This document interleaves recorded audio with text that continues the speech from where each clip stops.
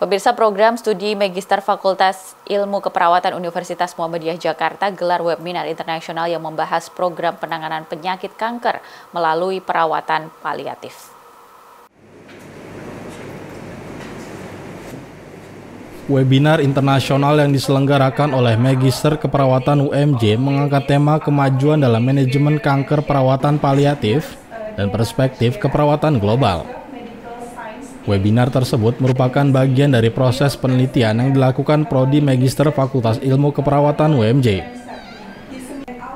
Kegiatan yang berlangsung secara hybrid ini diikuti sebanyak seribu peserta dari berbagai negara dan berbagai daerah di Indonesia dengan menghadirkan berbagai narasumber yang kompeten di bidang kesehatan dari berbagai negara.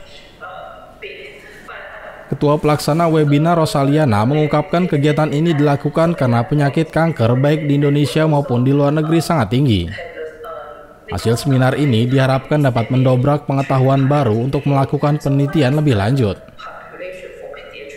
Ketua Prodi Magister Keperawatan UMJ Nyimas Heni menyampaikan webinar ini merupakan kegiatan rutin yang dilakukan mahasiswa Magister Keperawatan sebagai langkah evaluasi dari proses pembelajaran. Terkait kegiatan webinar ini adalah kegiatan yang memang rutin dilakukan oleh mahasiswa magister keperawatan, uh, di mana kegiatan ini adalah salah satu bentuk evaluasi dari proses pembelajaran. Jadi kegiatan ini memang pure adalah mahasiswa yang harus mempersiapkan dari awal hingga selesai dan ini dipersiapkan dari semester pertama dan pelaksanaannya adalah di semester kedua se sebagai satu proses evaluasi dari pembelajaran.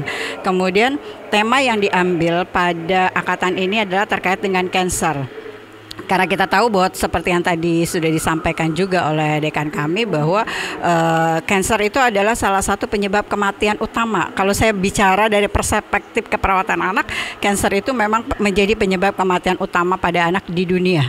Demikian pula di Indonesia bahkan menjadi uh, apa namanya penyebab pertama di antara penyakit lainnya, terutama adalah yang sering terjadi pada anak adalah leukemia.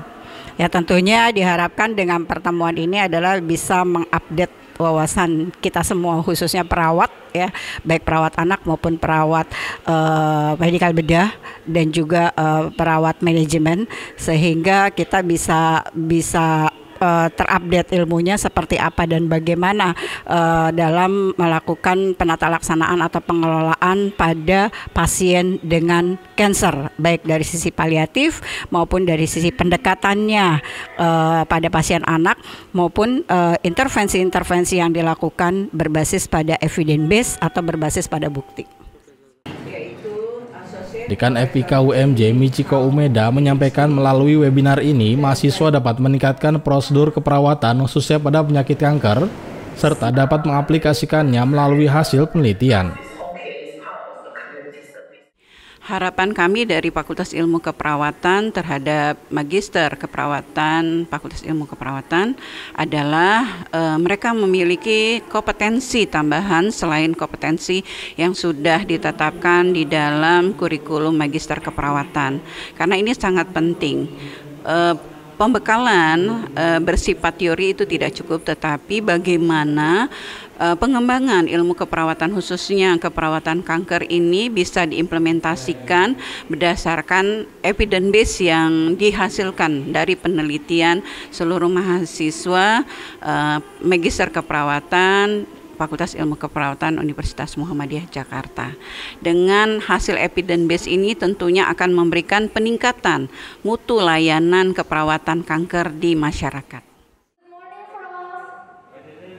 Indra Yunan memberitakan dari Jakarta.